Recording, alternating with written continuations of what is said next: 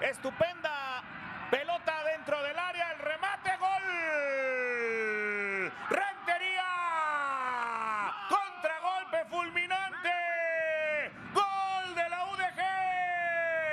Fútbol en tus manos. Telcel. Latigazo perfecto, Santiago Puente. Muy, muy bien. eh, Ray Villa es el que recibe en mitad de cancha, eh, jugando de poste, gira y con pierna izquierda filtra la pelota para Vallejo, que le gana totalmente el frente a Diego. Rosales y después se la deja cómoda y para que simplemente la firme Rentería, una jugada de contragolpe muy bien elaborada que nace de un gran servicio de Villa y después una muy buena conducción de Vallejo y le deja la pelota con moño para que la meta Rentería. Un manual del contragolpe, Carlitos Moreno.